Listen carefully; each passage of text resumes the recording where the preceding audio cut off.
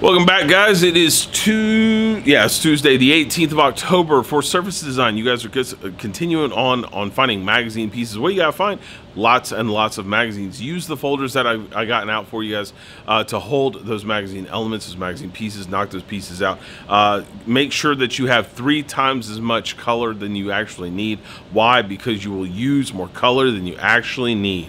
Um, it, it's just a thing. It, you, I ended up using like half of what I collected overall, but I collected like an entire magazine's worth of blue just for Beast. So be on the lookout for your different colors. Get all those different things. Keep it in your collection. Until then, if you guys have questions, you know where to find me. Catch you guys later. Later, guys.